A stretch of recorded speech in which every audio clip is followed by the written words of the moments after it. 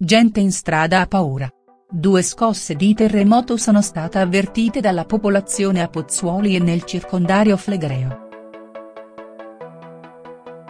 La prima, accompagnata anche da un boato, alle 23,36 di magnitudo 2,5, la seconda qualche minuto dopo, di intensità inferiore.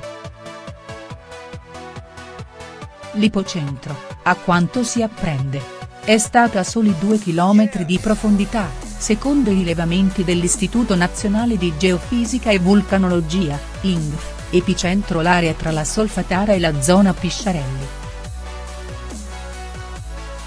Non si segnalano danni a persone e cose. I movimenti di questa notte fanno seguito alle scosse avvertite nella mattinata di venerdì scorso con epicentro sempre nei pressi della Solfatara.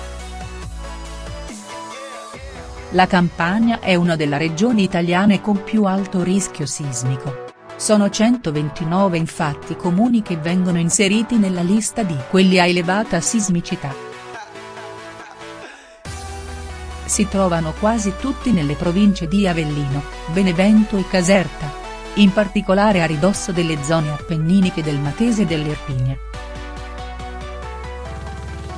I comuni a media sismicità sono 360, zone pianeggianti costiere di Napoli, Salerno e Caserta.